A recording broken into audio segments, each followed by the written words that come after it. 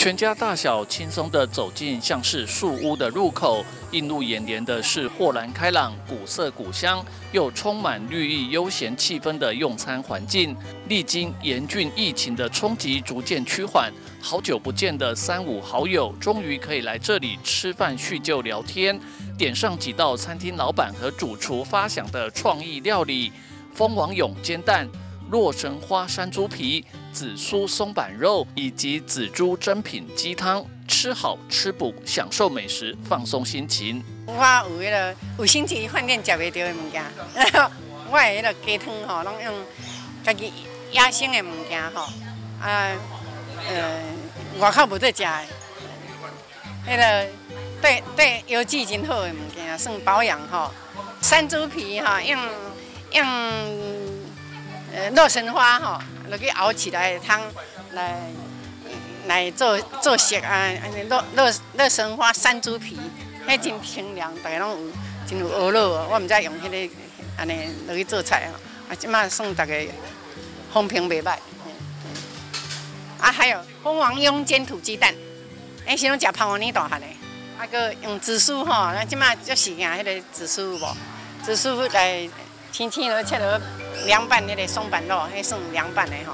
嗯，紫苏即摆大家嘛拢足足香的，哎，足爱讲这个紫苏做做松板肉，炒落去。啊个迄个枸杞叶啊，又咪，这是这几招啊，你好。来过一次就会想要再来第二次。随着新冠肺炎疫情逐渐趋缓，再加上暑假到来，全家大小可以到哪里踏青走走，避开拥挤人潮，享受大自然的风光，又能够吃到好吃的特色餐点呢？位在七堵马西地区老字号有名的方玉农场，不但可以吃到农场餐厅特别准备的补身补气创意料理，享受美食放松心情，更是一处适合谈天说地疗愈心情的好地点。身兼基隆市休闲农业理事长的市议员张耿辉建议游客不妨来这里吃美食，转换放松受到疫情影响紧绷的心情。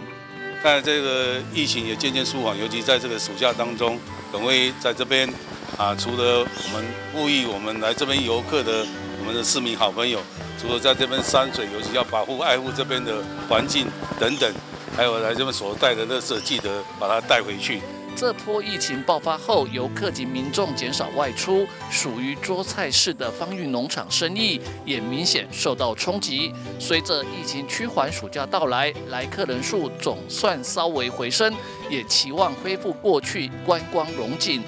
当地里长表示，马西里好山好水景点多，又有像方玉农场的美食餐厅，希望政府可以规划更好的公有停车场。疫情后持续协助发展马林的休闲农业观光。我是希望说，能不能说有一些那个公有土地可以来那个设置那个停车场，好让游客不要双向停车。会造成我们当地居民哈一些那个交通的问题，哦，如果说那个有大型的公车，